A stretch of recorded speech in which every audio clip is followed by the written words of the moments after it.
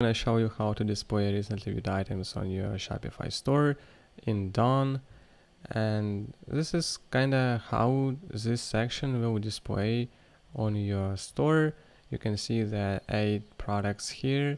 And let me show you, uh, let me, like this Nike.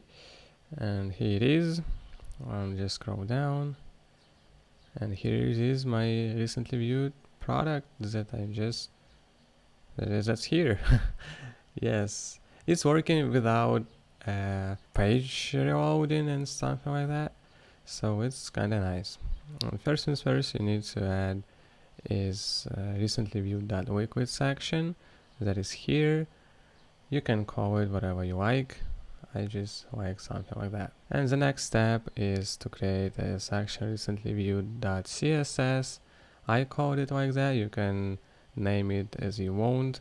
And you can also add styles here also as you prefer. So here is the styles. The next step is to create a jQuery.products.min.js file that will store a cookie.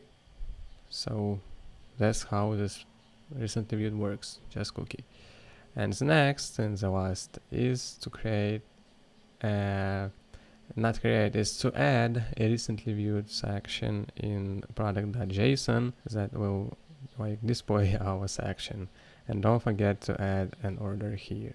And also you can just change recently viewed heading as you wish like recent or anything you like. So this is how you can simply display the recently viewed products section on your store